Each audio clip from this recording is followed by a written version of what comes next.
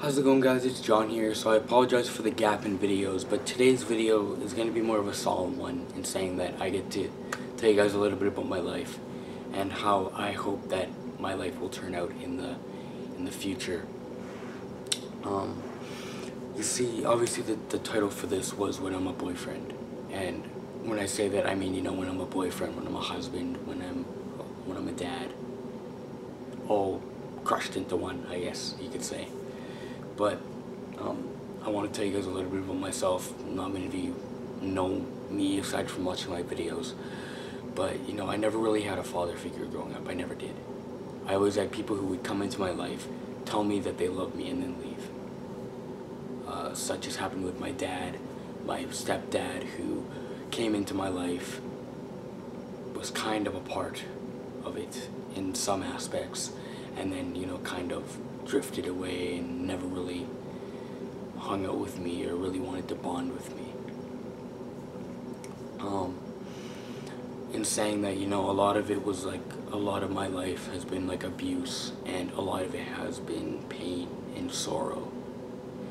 And when I say that, you know, um, as you saw in the title, um, I want to know, I, I'm sorry, I want my future girlfriend, wife, and kids to know that I will not treat them the way that my people in my life did. Obviously, there's a huge uh, like statistic that says, well, you know what? Well, depending on how you're raised at home, you, you that will transfer onto how you are when you move out and when you have your own family. Honestly, I do not wish what I went through on anybody. You know, people like people in my life saying, "Oh, I love, I love you, and I want to be with you," and then leaving, and never spending time with people, never spending time with me. What I'm trying to say in this video is that you know, when I have a girlfriend, I'm going to treat her with love and respect, and I'm going to honor her. When I have a wife, I'm going to do the exact same thing. When I have kids, I'm going to love them, I'm going to hang out with them, I'm going to be there for them, no matter what. Um, so basically what I'm trying to say in this video is that everything that I've gone through in life, I'm going to make sure that, you know, when I have a girlfriend, wife, kids, that it will not happen. Because if I were to do exactly what my fathers had done in my life,